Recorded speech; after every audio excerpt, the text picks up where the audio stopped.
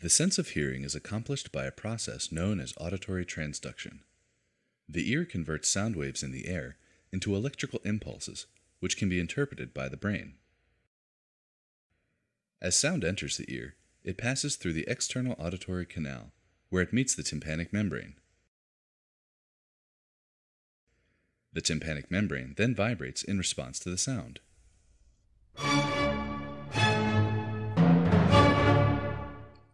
Sounds of a lower pitch, or frequency, produce a slower rate of vibration. And sounds of lower volume, or amplitude, produce a less dramatic vibration. Higher frequency sounds produce faster vibrations. The tympanic membrane is cone shaped and articulates with a chain of three bones called the auditory ossicles. They consist of the malleus, the incus, and the stapes. The movements of the tympanic membrane vibrate the ossicles, passing on the information of frequency and amplitude.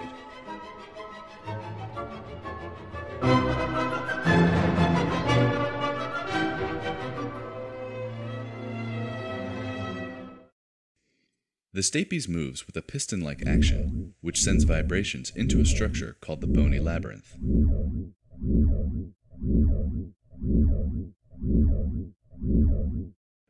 Labyrinth is filled with a fluid called perilymph.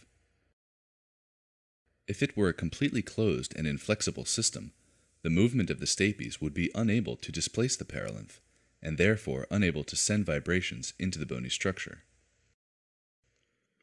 Due to the flexibility of a membrane called the round window, the stapes movement can displace the perilymph, allowing vibrations to enter the labyrinth.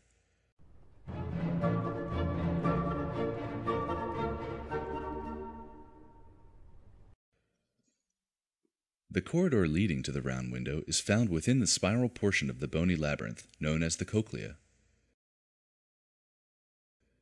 Vibrations produced by the stapes are drawn into the spiral system and return to meet the round window.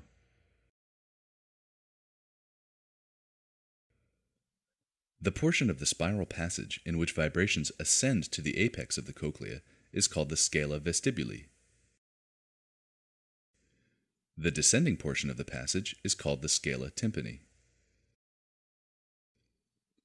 A third structure, called the cochlear duct, is situated between the scala vestibuli and the scala tympani.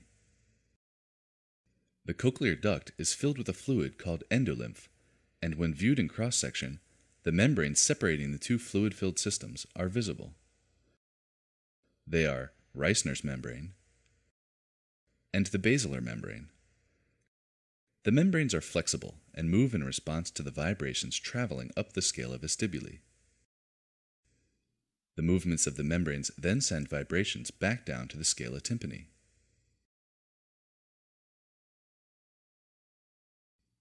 A specialized structure called the organ of Corti is situated on the basilar membrane.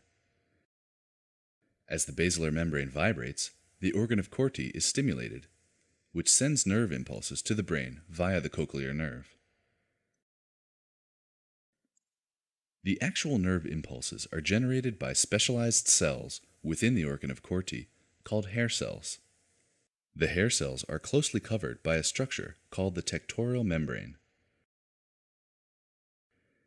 As the basilar membrane vibrates, the tiny clusters of hairs are bent against the tectorial membrane, triggering the hair cells to fire.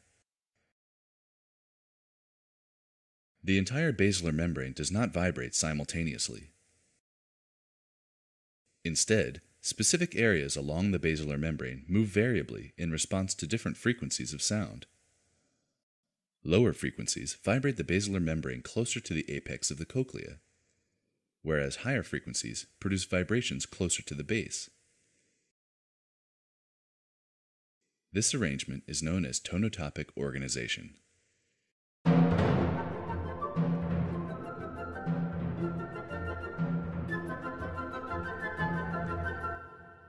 Together, this sequence of events is responsible for our acoustic perception of the world around us.